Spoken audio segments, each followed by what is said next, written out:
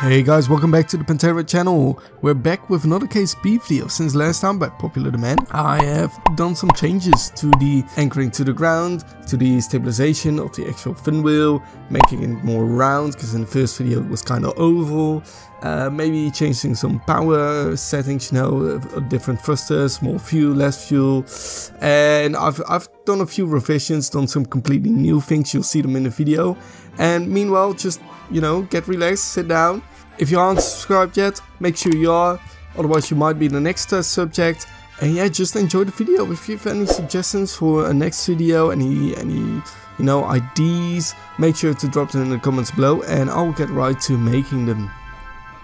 Okay, so I started off with where we left off last time with a uh, actual round wheel and I've decided to make a more of a base around it to add some more weight because someone in the comments below uh, suggested that I add more fuel tanks uh, at the bottom to increase the weight and some uh, launch clamps. So I added one launch clamp and yeah, I, I did the fuel canisters and I decided to make a small observation center for the Kerbals as well to, you know, overview the experiments. So as you can see I did some changes to the wheel because I need somewhere to put the rocket on. I decided to put one rocket on one side and then you know make the spiraling thrusters all around the construction. So we're about to test it out. I'm gonna skip some of this building because it's not that interesting really. So yeah, there was a bit too much weight on one side of the fin wheel. So we needed one launch clamp uh, to make it not spin back like you see right now. And we're lacking quite a lot of thrust. These boosters don't really do it. They only have like, what was like 60 kilonewtons. So I decided to activate the thrusters of the actual rocket. And that totally spun the thing out of balance. And just, it broke everything. So this is my next attempt. But I soon realized that the rockets were going the wrong way around. Alright, so I spun the rockets around. As you can see the ground clamp isn't really doing a lot and the wheel just got absolutely launched. It's, it's going 300 meters into the air, so it has quite a bit of momentum. I'm quite curious where this will end up, uh, if it will just end up working as a wheel. Let's see. Uh, I mean, sort of. It, it, it's doing something really. I mean, maybe we can do something with this later, make like a giant I don't know, vehicle car with this kind of concept. That'd be nice.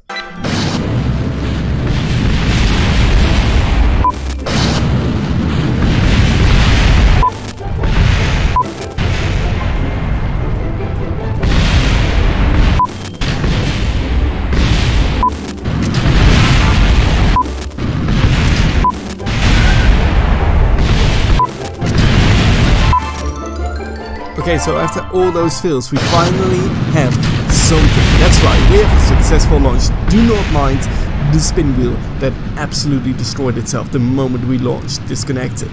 No, we got a successful launch because we are airborne for more than 5 seconds.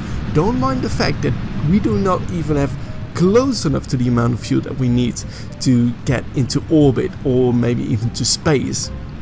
Don't mind that, just focus on the fact that we actually got airborne. That's right. So I'm pointing upwards more to the atmosphere to, you know, get more height.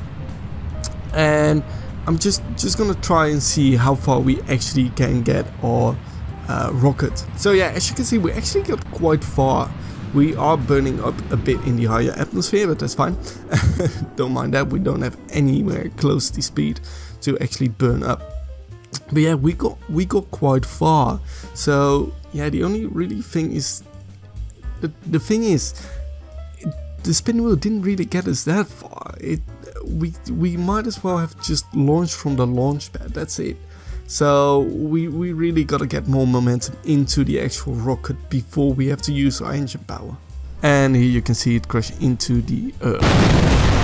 So yeah let's see if we can replicate that success Alright, so new plan. Instead of making a spin wheel which has to, you know, gain a lot of uh, rotational momentum or like high speed, which tends to kind of break inside KSP, it can't really handle it well, I decided to make a trebuchet. That's right, a rocket powered trebuchet. in the 21st century. How crazy is that? It's fucking insane, let's be honest. But, you know, it's it makes for some amazing content, so that's what I'm doing. See, it's a, the thing is, it kind of reminded me of some sort of hammer from Overwatch, uh, the, the Knight guy. I have no idea who it is, I didn't play it quite often. But yeah, I made it a bit too pointy, so I cancelled that later on. But let's see if we can actually get enough thrust in a short amount of time to get this thing airborne. And of course it's way too fucking heavy on one side, so it immediately breaks. Don't mind that, we're gonna fix that. So yeah, I decided to make it more stable by putting another rotor on it and another pillar, so it has two sides to hang off from. So you can see it kind of worked, uh, the entire launch pad flew into the air, but it did launch it. Uh, it's a, it, I mean, so far this is like the second test and we are already airborne, so it's a bit more successful.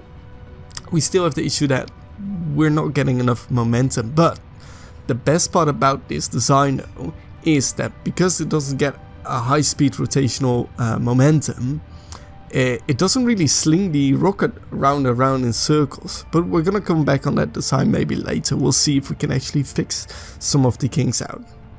But yeah, we're getting quite high into the atmosphere. We just need to get some more rocket power, more thrust or, or more fuel into this thing or more efficient burns, I don't know, we just have to figure out how to actually get into orbit. Yeah, so this time I tried to, you know, get the engines to output the max thrust. I thought I, I might have to wait a bit before launching it. So yeah, doing that, I completely forgot to switch the rocket and the rocket was spinning out of control so it kind of broke anyways. So here we're gonna try it with some rocket boosters. I thought maybe the boosters will get us, you know, high enough for maybe the thrusters to kind of pick up the work and get us into orbit. So let's see how that works out. Yeah, it did not work out. So let's just try it again without thrust, uh, the boosters, I meant, sorry. And yeah, it's, it's just... It's just so hard to get control. However, this launch is gonna go a lot better, as you will see. So we, yeah, we disconnected at the right timing. Uh, the thing is not spinning out of control. We can pull it up quite easily. It's going straight up into the air, but we're giving a bit too much thrust right now. I feel like, so I put down the throttle and we just have to wait yeah. So we're like at minimum output to gain still gain altitude but uh, burn less fuel. I don't know if it's an efficient burn. Not sure. I'm not a rocket scientist if you haven't noticed yet out of these bizarre and unsafe constructions. Honestly the amount of human rights I have um, absolutely not cared for is uh, is it's quite a lot. It's quite a long list, I think. So yeah, uh, don't don't don't worry about that. Oh, we're we're here to uh, we're here for the future and uh, to sacrifice a few Kerbins for the future of uh, their species is absolutely no problem. Why you ask? Well, don't ask. Just don't ask these questions. Why would you? So yeah, anyways, that was going nowhere and I did a redesign. Something broke, don't care. We're still gonna launch. Yeah, this, this redesign didn't really work out as I thought. But even though it didn't work out like I thought, we're gonna try it again. Because why not? And there are actual people in this station right now. So, you know, there's a bit of a risk. Not for me though. And it still didn't work out. The thing is still spinning around like crazy. And yeah, on to the next design. So yeah, this is my next design. As you can see, working absolutely magnificent. There is no weight problem, like one side being heavier than the other. It's just... Don't worry about it, just don't worry about it, no one died. So yeah, I actually gave it a try to balance out the wheel and it looks wanky as fuck, because it is. But yeah, it's actually pretty balanced as you can see, like I didn't have to lock it in any way, shape or form. Does it work well though? Well, no, it does not. Doesn't stop me from trying another time. And here you see me using the throttle a bit more carefully, but you might have guessed it. As soon as it starts turning, the, the balance is gone, it's gone. Yeah, there we go. It's an absolute wreck fest. the pillars can't hold it. That's why you see these. Yeah, so we, we gave it a try, but there's no point in even trying. So yeah, this is my last attempt really with this uh, balanced rocket wheel. And yeah, well, you see how it ended up. I mean, we did launch, but um, yeah, I mean, we didn't we didn't really get any further into the sky. We just went horizontal, and now it's just an um, an uncontrolled ballistic missile. Which wow, it actually just saved itself from crashing into the ground. That's wonderful.